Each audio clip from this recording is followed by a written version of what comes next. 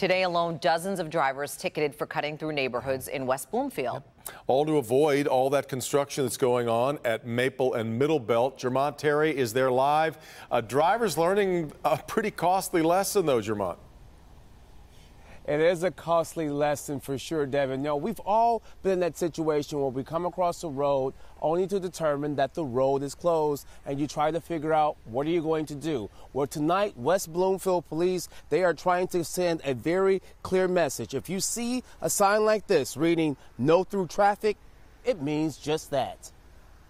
When the road closed signs go up, frustration amongst drivers flare up, causing backups, leaving neighbors fed up and you get this. It's just a minor detour while the construction's going on. No one's trying to like run through your neighborhood going no, super fast, but to, to purposely make it worse doesn't make any sense. Well, because you know what you know what's happening is people are zooming through here. Vivian Belcastro sounds off with a driver cutting through her subdivision. Just 24 hours after Maple near Middlebelt shut down, take a look at the neighborhood streets.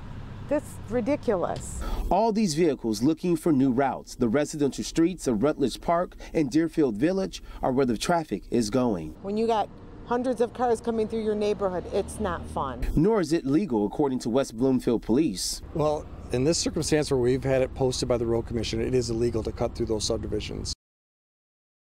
Tuesday alone, more than 60 drivers, each slapped with $125 tickets, all because they disobeyed the no through traffic sign and thought like this guy. Middlebelt is closed, and so there's a huge volume of traffic that needs to find some way through. So using these other small roads as like little arteries to get to other areas just makes sense. We just don't take any uh, enjoyment of going out and writing tickets. Uh, we absolutely do not, but uh, there's a problem, we recognize it, and we're going to go take enforcement action.